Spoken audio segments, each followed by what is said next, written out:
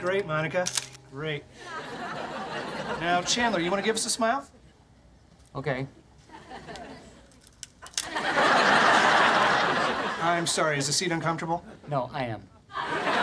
Chandler, Chandler, sweetie, I know you can do this, okay? You have a beautiful smile. I do? Yeah.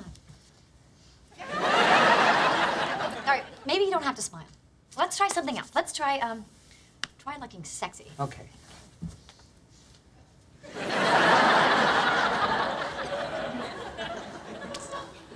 Or not. I know.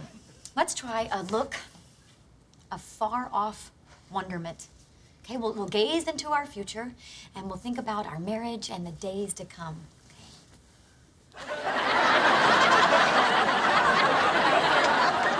Chandler, what is the matter with your face? Wait, this picture is supposed to say Geller and Bing to be married, not local woman saves drowning moron.